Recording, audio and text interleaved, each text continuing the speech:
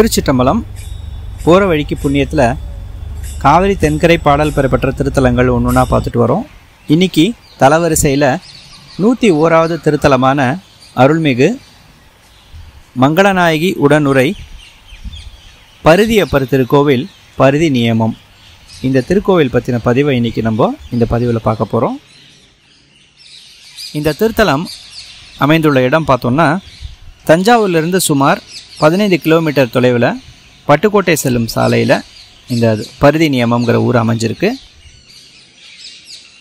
இது ஒரு தேவார பாடல் பெறப்பட்ட திருக்கோயிலாகும்.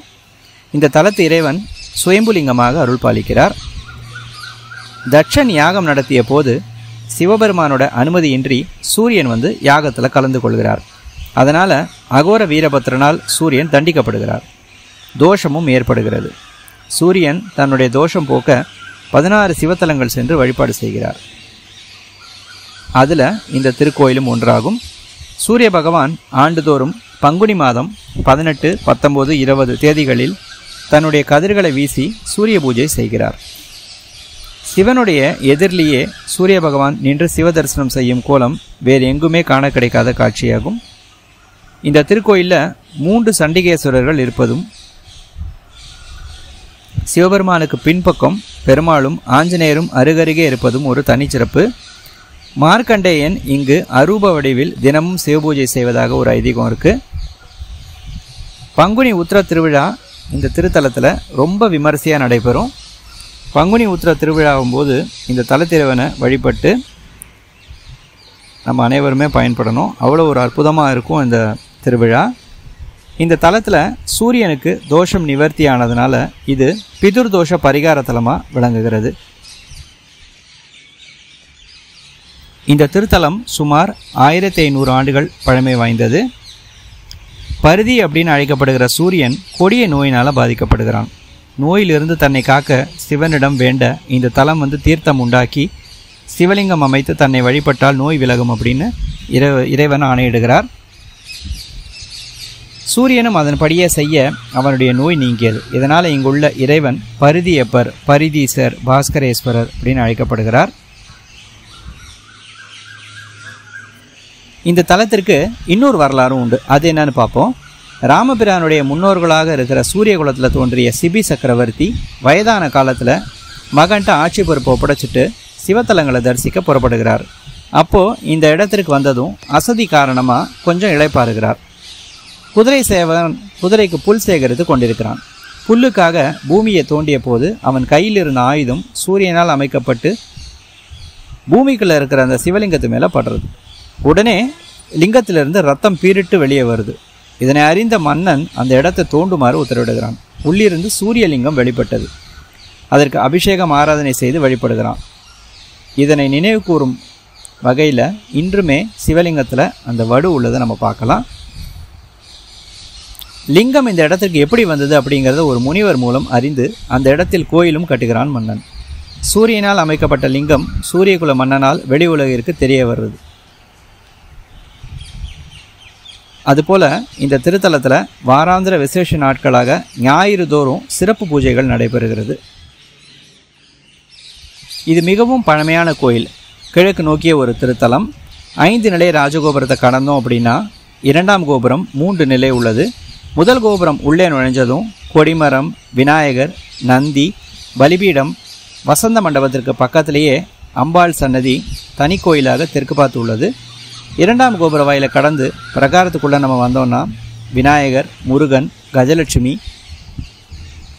இப்படி நிறைய சன்னதிகளை நம்ம தரிசனம் செய்யலாம். நடராஜர் சபையும் உள்ளது. அருகேயே பைரவர் சூரியன் சந்திரன் நவகிரகங்கள் சன்னதி உள்ளது. இங்குள்ள முருகப்பெருமான் சிறந்த வரப்பிரசாத மூர்த்தியாக வழிபடுகிறார். வாரபாளர்களையும் விநாயகரையும் நம்ம தொழுது உள்ளே சென்றோன்னா சுயம்பு மூர்த்தமாக திகழ்கின்ற மூலவரை தரிசிக்கலாம். மூலவருக்கு எதிரேயே நந்தி பலிப்பீடம் அதுக்கு அடுத்ததாக சூரியன் வழிபடும் நிலையில் இருக்கிற உருவத்தை நம்ம பார்க்கலாம். கோயிலுக்கு தென்புறம் பிடாரி கோயில் உள்ளது. அதுக்கு கோயிலுக்கு அருகிலேயே இடும்பன் கோயிலும் உள்ளது. திருஞான சம்பந்தர் இத்தலத்து இறைவன் மேலே அருளிய பதிகத்தை நம்ம இப்போ பார்ப்போம். மூன்றாம் திருமுறை நூற்றி நான்காவது பதிகமாக அமைந்துள்ளது. விண்கொண்ட தூமதி சூடி நீடு விரி புன்சடை தாழ பெண் கொண்ட மார்பில் வெந்நீர் பூசி பேணார் பலி தேர்ந்து கண்கொண்ட சாயலோடு ஏர் கவர்ந்த கல்வர்க்கிடம் போலும் பண் கொண்ட வண்டினம் பாடியாடும் பரிதி நியமமே. அறவொலி வில்லொலி அம்பின் ஒலி அடங்கார் புறம் மூன்றும் நிறவ வல்லார் நிமிர் புன்சடைமேல் நிரம்பா மதிசூடி இரவில் புகுந்தென் எழில் கவர்ந்த இறைவர்க்கு இடம் போலும் பரவ வல்லார் வினைப்பாழ் படுக்கும் பரிதி நியமமே. வான்முக வார்குழல் வாள் நெடுங்கண் வளைத்தோள் மாது அஞ்ச நீன் முகமாகிய பைங்களிற்றின் உரிமேல் நிகழ்வித்து நான்முகம் காட்டி நலம் கவர்ந்த நாதர்க்கு இடம் போலும் பான்முக வண்டினம் பாடியாடும் பரிதி நியமமே.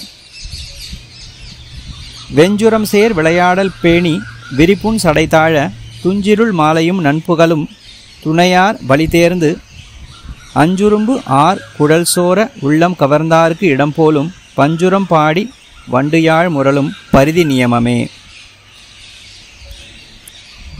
நீர்புல்கு புன்சடை நின்று இலங்க நெடு வெண்மதி சூடி தார்புல்கு மார்பில் வெந்நீரு அணிந்து தலையார் பலி தேர்வார் ஏர்புல்கு சாயல் எழில் கவர்ந்த இறைவர்க்கு இடம் போலும் பார்புல்கு தொல்புகழால் விளங்கும் பரிதி நியமமே.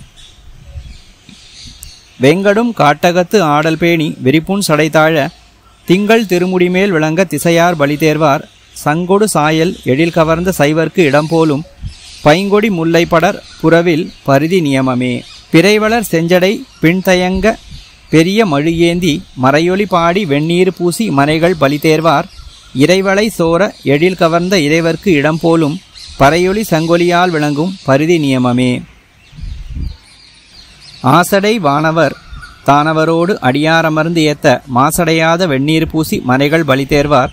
காசடை மேகலை சோர உள்ளம் கவர்ந்தார்க்கு இடம் போலும் பாசடை தாமரை வைகு பொய்கை பரிதி நியமமே.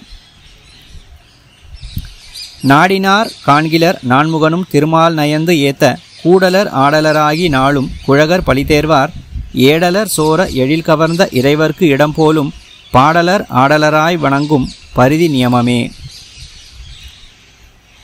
கல்வளர் ஆடையர் கையில் உண்ணும் கழுக்கள் இழுக்கான சொல்வளமாக நினைக்க வேண்டா. சுடுநீர் அடியாடி நல்வளை சோர நலம் கவர்ந்த நாதர்க்கு இடம் போலும் பல்வளர் முல்லையம் கொல்லைவேலி பரிதி நியமமே. பையரவும் விரிகாந்தள் விம்மும் பரிதி நியமத்து தையலூர் பாகம் அமர்ந்தவனை தமிழ்ஞான சம்பந்தன் பொய்யிலி மாலை புனைந்த பத்தும் பரவி புகழ்ந்து ஏத்த ஐயுறவில்லை பிறப்பு அறுத்தல் அவலம் அடையாவே. இத்தனை சிறப்புகளையும் அற்புதங்களையும் கொண்ட அருள்மிகு மங்களநாயகி உடனுரை பாஸ்கரேஸ்வரர் பருதியப்பர் திருக்கோவில் பருதி நியமம். இந்த திருத்தலத்துக்கு உங்களுக்கு சந்தர்ப்பம் கிடைக்கும்போது ஒரு முறை இறைவனை தரிசனம் செய்ய வாங்க. இறைவனோட அருளை நம்ம அனைவருமே பெறுவோம். அடுத்த பதிவில் மற்றும் ஒரு சிறப்பான திருத்தலம் பற்றின தகவலுடன் உங்களை சந்திக்கும் வரை திருச்சிற்றம்பலம்.